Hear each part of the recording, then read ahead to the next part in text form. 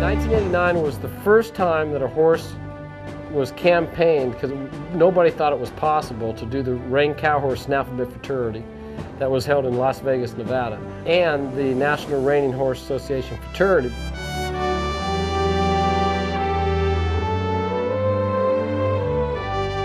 He showed from when he was a three-year-old, or competed from when he was a three-year-old till he was, I believe, eight years old, and he showed hard, or campaigned hard every year.